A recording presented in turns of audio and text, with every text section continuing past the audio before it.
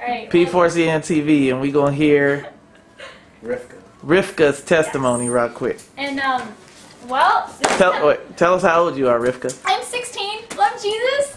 and yeah, um, crazy how I found the Lord. But um, can't be rude to blown away. But my parents are actually Muslim. They're radical, radical Muslims. And and, and um, if you guys don't know what the history of Islam is, they're really hostile towards Christianity. And just the mere word Christianity brings such a hatred in them, right? And uh, I'm, I'm actually a secret Christian. I've been in hiding, I guess, for a long time, three, four years. Um, they can't know of my faith because if they do know, the consequences are really harsh.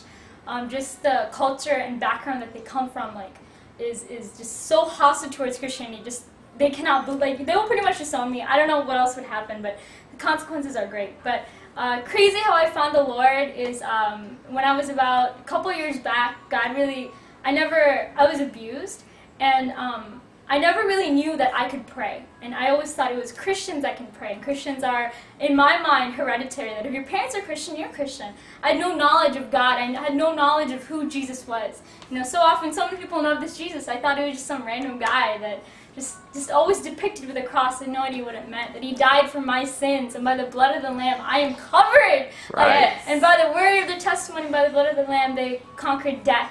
It has no sting. I never knew that. And um, so one day I remember there's this girl that, that, that kept coming my way. And it would be even a park, even an hour away I saw her. And I was just like, who is she? Like why everywhere I saw her, so in the locker room, in the bathroom, in the lunchroom, in the everywhere. And just God just kept putting her in my way. And um, for some reason I told her that I was a Christian just because I guess wanted to fit in maybe. I don't know what it was. I guess just because I, I don't know what it was. I just said, yeah, sure, why not? You know, go with the flow. And um, she got so excited and she had just gotten saved and was really fired for God. And she was like, why don't you come to church with me? And this for me was huge. I was risking everything. Like if my parents found out I was 13 years old and I would not have a home. Like how crazy. But you know what? I, I was done. I was done living my life for just worthless things, going on a path of just depravity, a path that, that I knew led led to death. And um, so I went. And the minute I went in there, I hadn't even been into a church. Like, come on! Like, I was so amazed, and just I love Jesus everywhere around me, and just the passion that people had, and the fire in their eyes really just just set me back. And, and they started standing up and, and, and singing, and I'm like, why are they standing and singing? I didn't even know where church procedure went. And so they're singing, and then all of a sudden, I just I start singing with them, and the words are up there, and I feel I just feel something different. So I continue. All of a sudden, the guy, the preacher, preaches his heart out, you know, about the gospel. And again, I see the fire and the passion, and I'm taken away. And then he says, you know, the biggest miracle of all is salvation. And so, and then he has an altar call, and there's, I feel like there's something in that altar that depends on my life. And I'm scared. I'm like, I, I can't do this. Like, what am I doing? Like, this is so wrong. I'm not even supposed to be here. Like, this is crazy.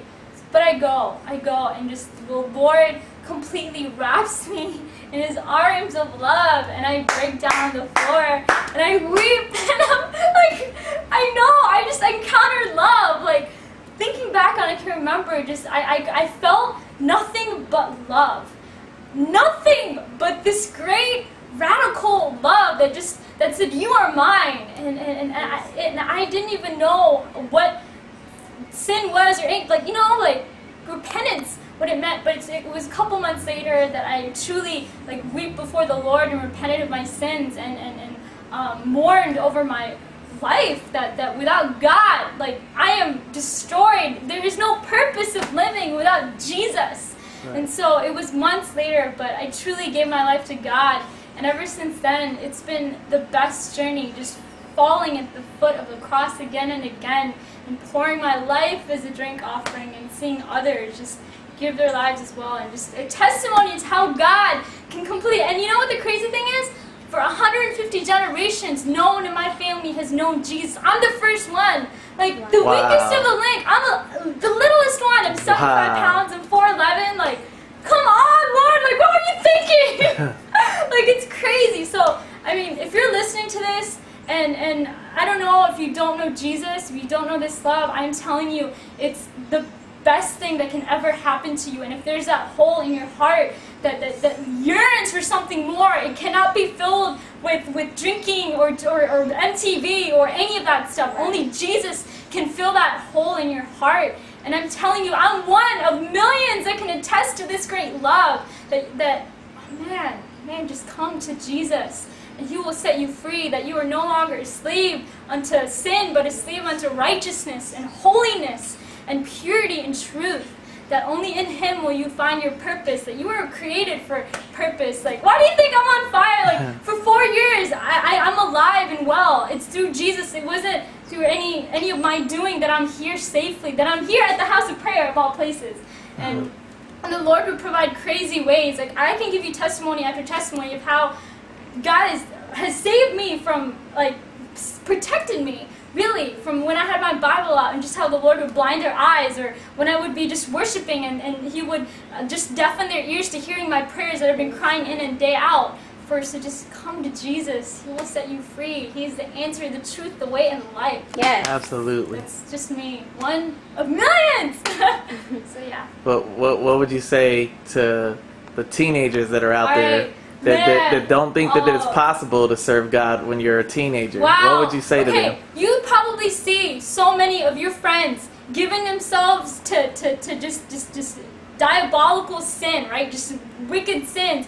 But I am telling you, the Lord is raising up the Nazarites. You either choose to be a part of it or you don't. Choose today who you will serve, either God or the devil. There is no lukewarm. He's raising up the generation that, that seek the face of God. So I'm telling you right now, as one of so thousands he's raising up, and the young teenagers, I'm, I'm telling you, you know, you're seeing so many of your friends fall into sin, but I'm telling you, God is raising up the generation that's seeking after the heart of God, that wants heaven to fall on earth, and for the presence and glory of God to manifest here and now. So choose who you will Yes. serve, because this is it. The revival is coming to America. So be a part of it, man. Oh my goodness, it is so much more possible. I'm seeing revival just, just break out, like uh, crying in. So God, so come, go to Jesus, man. He's raising up the Esthers and the Davids and the and the Jeremiahs. Be a part of it. It is possible, more than possible. Think of how much how much more years you can give to God.